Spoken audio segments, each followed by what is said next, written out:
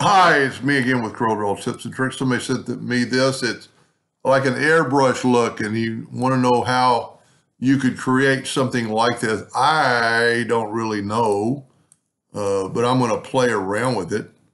I am going to go ahead and make these letters red, and I'm going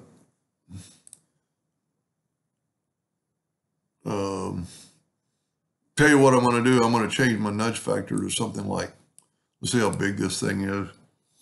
Uh, almost three. So let's make it like a 0.125 big. And then I'm going to make a duplicate and move it down. And I'm going to make that one a blue. But then I'm going to go to object order back a page and you see you get one of those layers. Now they're fuzzy. And we might fuzzy it up there in a second. And there's actually like a white. So let's do um, let's take the blue again and let's change our nudge factor to 0.05 and let's make a duplicate of that and move it up and change that to white.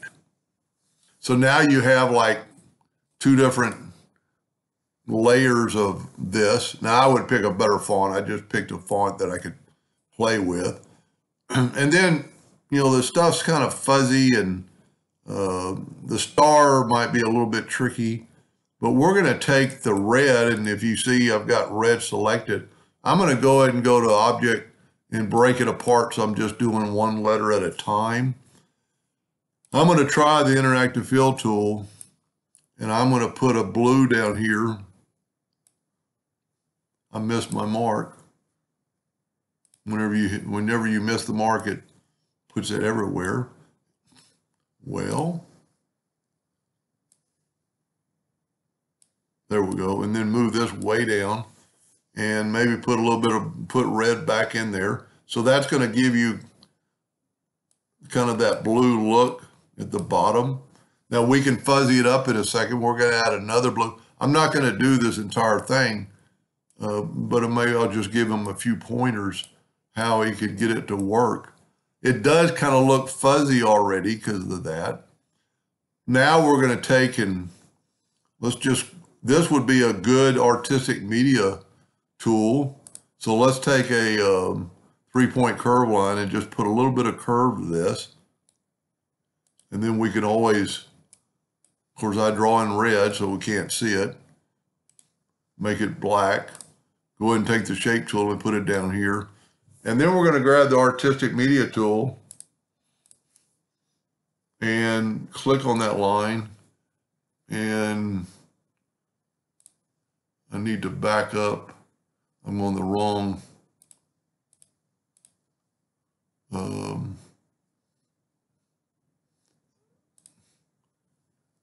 click on our line. Well, we gotta gotta get our. Um, I can't remember which there we go. We need this one. And we're going to use one that has a kind of like that. Click on it. Now we get to make it a little bit bigger. Of course, we did it upside down. But we can fix that. Uh, let's go ahead and uh, go up to object and break the artistic media apart and get rid of that line. We're going to go ahead and uh, don't worry about that. We can fix that.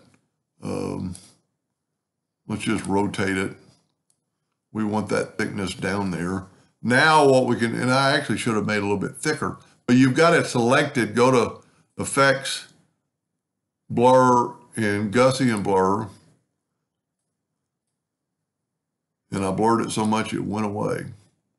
And of course, I should have made a little bit thicker, but that gives you that kind of a look of course, I should have made it bigger and thicker, uh, but it does look like an airbrush look. And the whole thing's kind of completely different than what I'm doing, but you can always go back to the artistic media tool and, you know, change some things and move some things around to get your different looks. Uh, the star, I've never really had good luck with uh, doing stars, but we could try it. We're going to take a, let's take the polygon tool, set it on 52 points. And we have 52 little nodules there. And we're going to kind of do that. Now, now just stay with me here for a second. Now, if we break it into a curve, go to object and convert it to a curve, then we can move individual lines out. Um, and I think it's going to kind of look like a star once we uh, put white in it and blur it up. I'm not doing, i I'm not taking a lot of time um,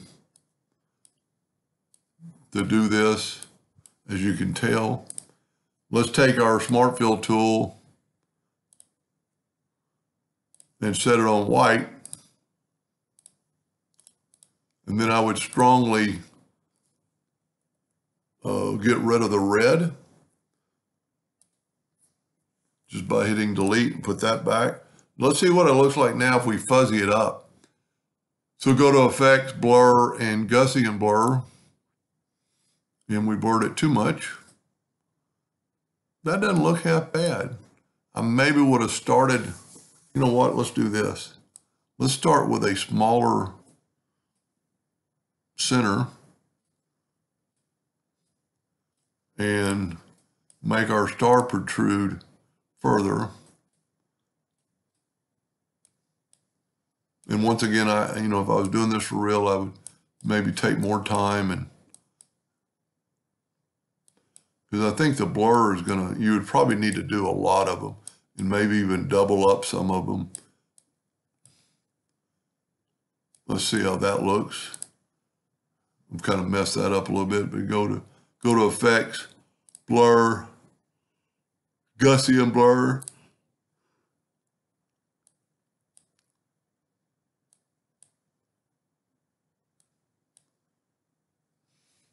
That don't look half bad. Of course, now it's probably make it bigger.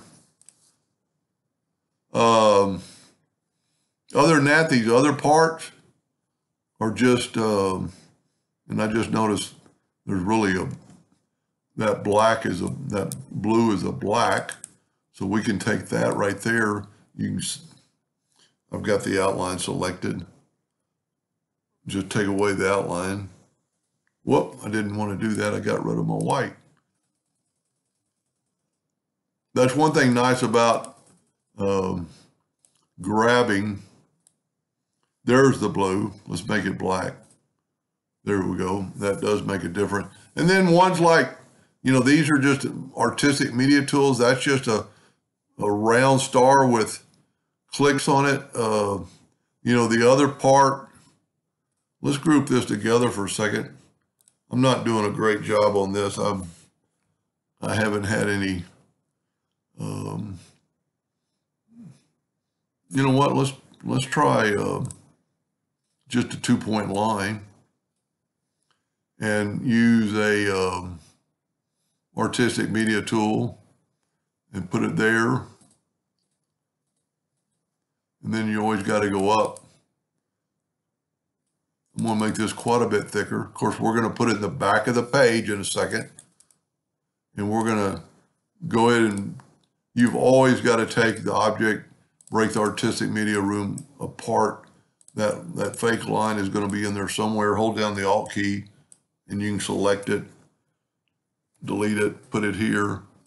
Go ahead and go to Object, Order, Back a Page and put it back there. And now let's try, of course, it's a really a straight line. Um, we could probably try, you know, curving a little bit and uh, doing more with it. You don't want to do that. Um,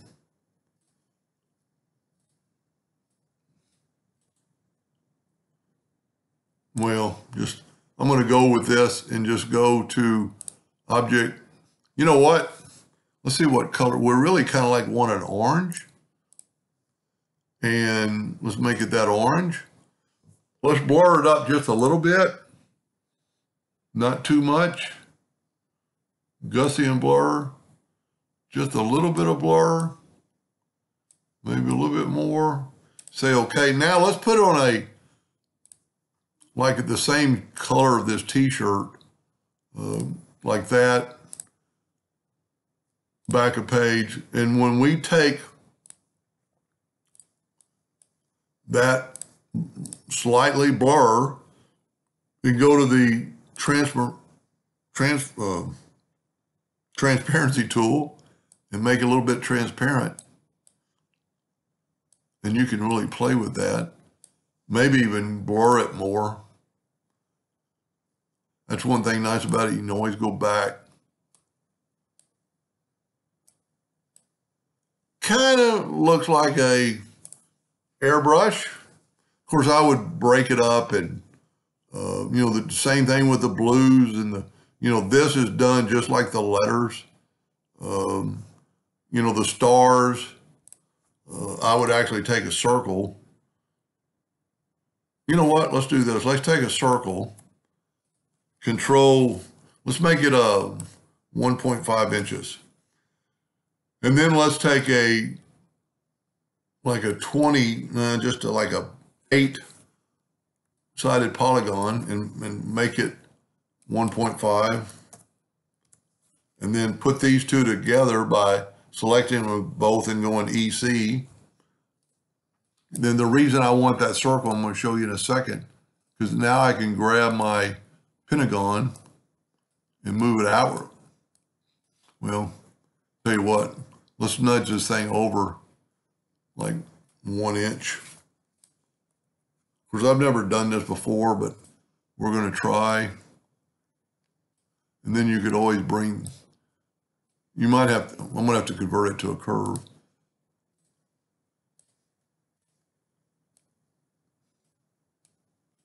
And what we're going to do, we're going to round some corners here in a second.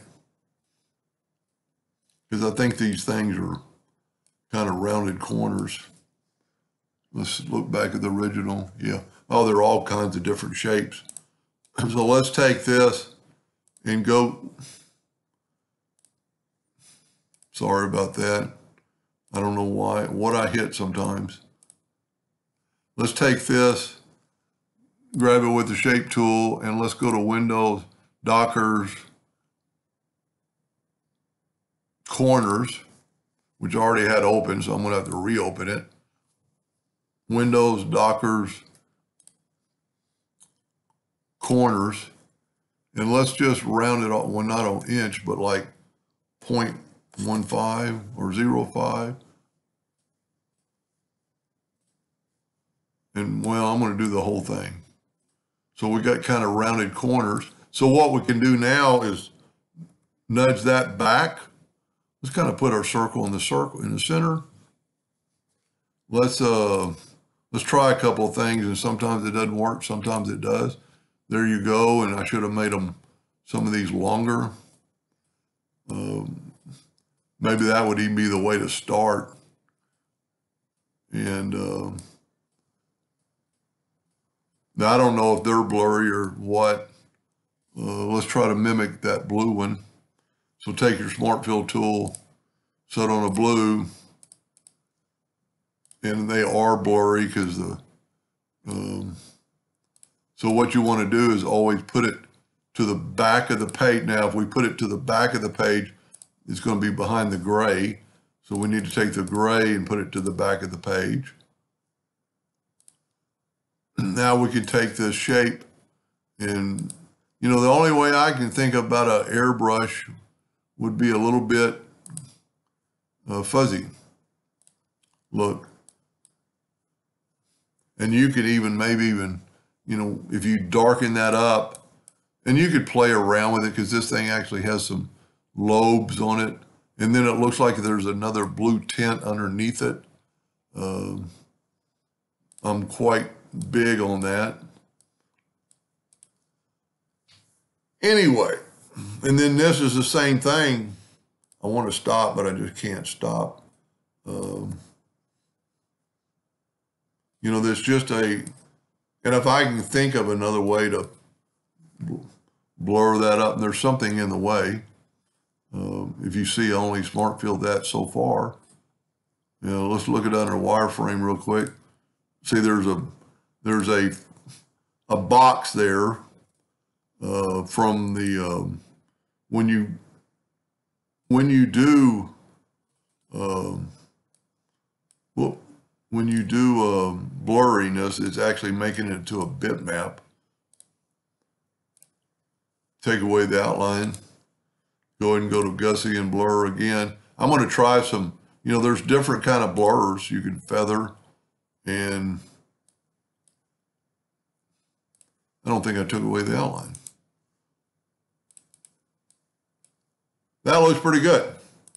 That looks like a one of these right here. Of course, it's darker. This would be a fun project, and what it would be neat about who's doing this for some seniors, it would be yours. You know, you're you're getting the idea, but you don't have to. And of course, you know, you'd probably want to slant the letters or pick a better font. Um, you know, I don't, I don't think you could copy the attribute to each letter, but you can. So that kind of gives you that look.